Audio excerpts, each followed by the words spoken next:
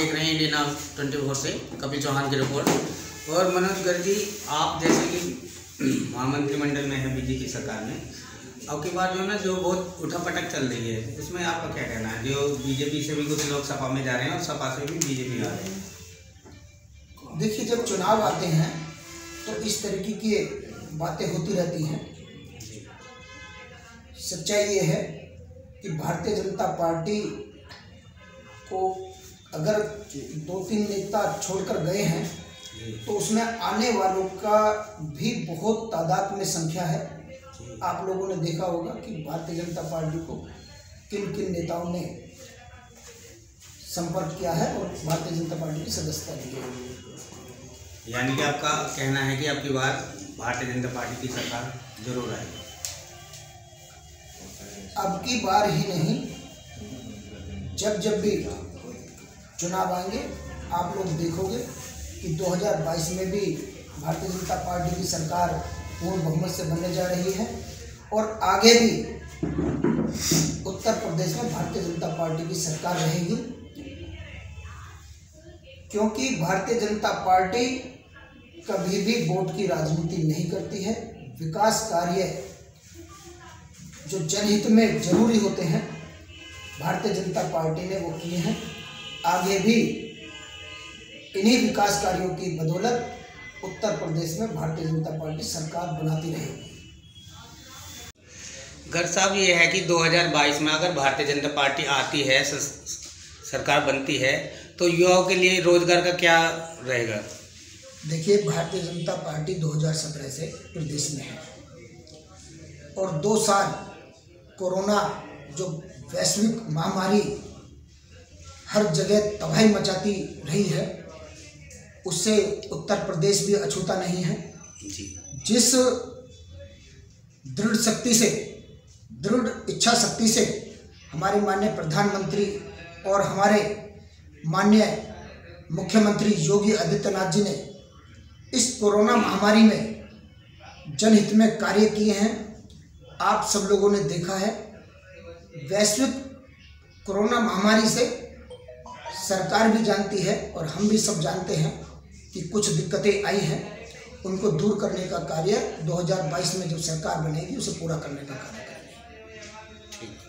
की दृष्टि से नहीं देखा जाना चाहिए चाहे चुनाव हो या ना हो जो जनहित में है वो भारतीय जनता पार्टी की सरकार हमेशा जनहित में कार्य करती है। सर हमें आपसे ये पूछना है कि अभी आपने एक बात कही थी कि योगी जी ने मतलब अभी विकास करा है जो लोगों से तो लोगों तक हमारे चैनल के माध्यम से बता सकते हैं कि उन्होंने क्या क्या कार्य करा है? सब लोगों की दृष्टि में है।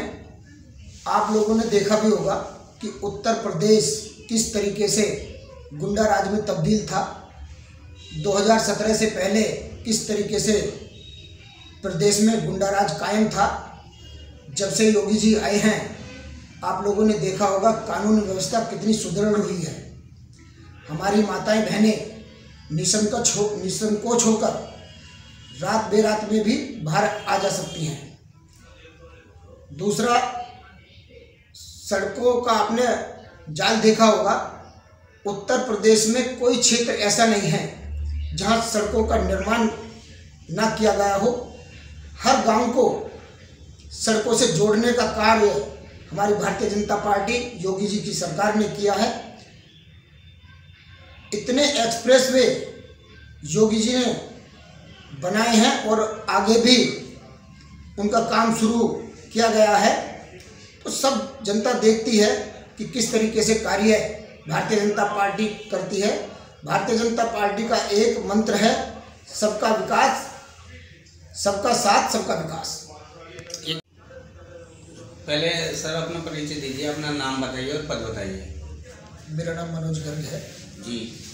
और जिला महामंत्री हूँ भाजपा गौतम बुद्ध नगर। ठीक है तो आपका क्या कार्य है बीजेपी सरकार में? जिला महामंत्री भाजपा। जो हमारा संगठन का कार्य होता है उसे सब हम देखते हैं। जैसे अभी 2022 का चुनाव चल रहा है इसके बारे में आपका क्या कहना है? भारतीय जनता पार्टी आपकी बार क्या कितने बहुमत से जीतेगी? देखिए भारतीय जनता पार्टी जो पहले 325 सीटें जी। जीत कर आई थी जी। उससे भी अधिक सीटों से इस बार जीत के आएगी। ये तो सभी सरकार दम भर रही है कि लेकिन आपका अब की बार क्या है? लोगों के लिए क्या नया करेंगी भारतीय जनता पार्टी? अगर सरकार बनती है तो। देखिए पार्टियाँ चाहे कोई भी हो जी।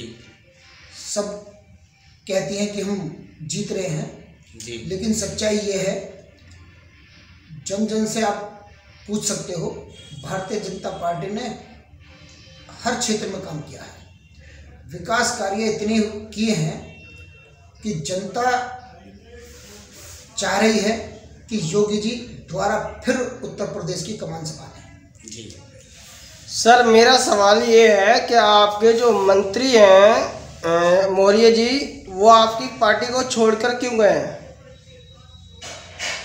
ये सब जानते हैं कि मौर्य जी क्यों पार्टी छोड़कर गए हैं। आप लोगों ने देखा भी होगा और उन्होंने अपने मुख से कबूल भी किया है कि योगी जी किसी भी गलत कार्य का समर्थन नहीं करते। जब पहले वो बसपा सरकार में रहे, उन्होंने वहाँ किस तरीके से सरकार में मलाई मारी है, उसका इस सरकार में उनको वो मलाई नहीं मिल पाई, इस कारण से मौर्य जी हमारी पार्टी को छोड़कर चले गए। अभी यूपी में चल रहा है कि जैसे बिजली का बिल है उस पर यूपी सरकार से आ रहा है कि पचास परसेंट की हम छूट देंगे। ये अब से पहले कार्य क्यों नहीं हुए? जनहित में जो भी कार्य जी। समय समय पर होते रहे हैं जी। आगे भी अगर कहीं जनहित में कोई भी कार्य करने की ज़रूरत सरकार द्वारा होगी तो उसे भारतीय जनता पार्टी निसंकोच होकर करेगी। उसमें चुनाव